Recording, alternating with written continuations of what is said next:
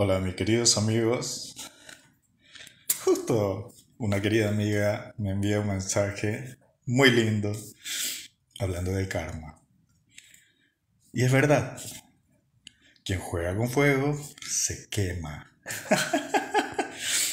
es así. Por eso yo los invito a que actúen y obren bien, tanto en pensamientos como en acciones, porque eso determina a futuro los premios que el universo puede dar. Y haciéndolo eh, de la forma contraria, ¿qué puede venir? El karma. Y es difícil de salir de ello. Así que les deseo todo mi cariño y aquí para ustedes alguien que les quiere mucho. Los amo. Mi cariño.